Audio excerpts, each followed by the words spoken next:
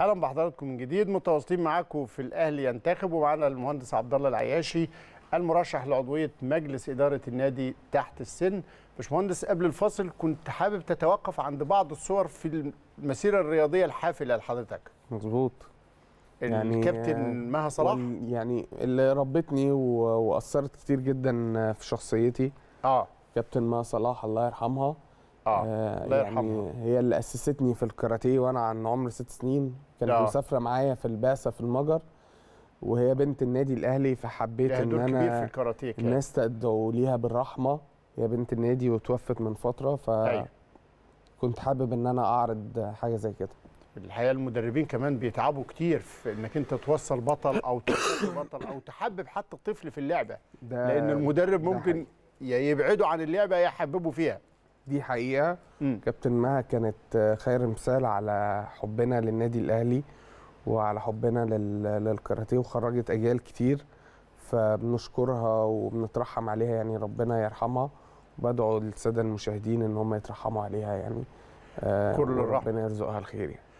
أنت بمناسبة الكابتن محرم الراغب يعني أنت تذكرته في الموقف طبعا هو كان في التكريم ده على فكرة حسن حمدي كان في التكريم آه، على فكرة هو كان كابتن ده حسن كابتن حسن وهو بيكرمك وهو بيكرمني الحمد لله وإحنا راجعين من سعيد. البطولة والمهندس هشام سعيد ومعالي آه. الوزير العمري فاروق كان في الدورة دي أظن آه، سنة 2000 ويعني هي مقطوعة بس هو كابتن محرم الراغب وجنبه الحاج محمد عبد الوهاب جنب آه. كابتن حسن في أيوه. نفس ال- التكريم على بالظبط فكرة حضر التكريم ده بس هو ممكن مش ظاهر في الصور برضو نترحم عليه كابتن طارق سليم الله يرحمه ويحسن الرجل إليه. ال- العظيم يعني طبعا فكلها وأنت قامات فرحان وهو ده بالشهادة أهو آه، نادية وبيتي هو اللي بيكرمني آه فلازم لازم من أكون بدري قوي. الشعار الاهلي فوق الجميع فوق كل آه، ولاده وكل ده مصالحه اللي اتربينا عليه من آه. آه. من زمن من وإحنا صغيرين مهم. هو الشعار اللي إحنا بنتصور في ده الصورة دي مع دكتور مهند آه، وهو يعني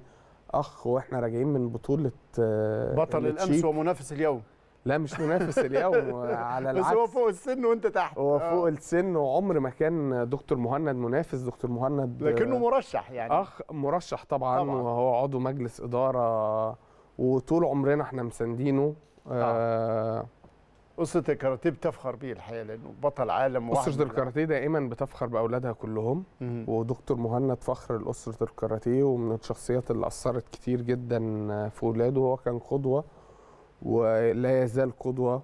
وكابتن مهند إحنا وإحنا راجعين مع بعض ودكتور مهند آه، دي صورة يعني الحمد لله أنا كنت حاصل على المركز الثاني في التشيك. والصورة دي يعني برضو أحد التكريمات ده تكريم تاني. آه. آه كنا بنشوف إن أولاد النادي دائما آه في في تكريم. آه الاستاذ خالد وكاس- الدرندلي وأستاذ كاس إبراهيم الكفراوي. ميداليات ما شاء الله. آه آه، ده كاس النادي الأهلي على فكرة دي البطولة التنشيطية بتاعة النادي الأهلي وده كاس النادي. النادي الأهلي. آه آه. بتبقى صور غالية جدا على حياة الرياضي لما يبقى عنده صور من الطفولة. آه ده اللي هو حسن مسعود برضو الله يرحمه ده في عيد ميلادي على. فكرة. آه. والراجل آه، كان بيحتفل معانا في عيد في عيد الميلاد من الشخصيات والقامات الكبيرة. آه. اللي ساهمت في بنى أهلي مدينة إليه ربنا. يرحمه يعني من الشخصيات الجميلة. كان ساعتها برضه معالي الوزير العمري حاضر ساعتها عيد الميلاد عمرو والإحتفالية. فاروق موجود. دايما بيحرصوا على إن هم يعني يساندوا أولاد النادي ويكونوا لا داعمين لا ليهم وفي صور. غالية جدا الحقيقة. يعني صور مهمة في في المسيرة الرياضية دي. وأنا بسترجع يعني آه، ذكريات العلاقة الثورة. على فكرة دول آه. مدربيني برضه كابتن مختار وكابتن ماهر حمزة كابتن ماهر لحد دلوقتي بيطلع أجيال داخل النادي الأهلي ما شاء الله. من نفس التكريم. آه هو ده النادي الأهلي هو ده اللي اتربينا عليه.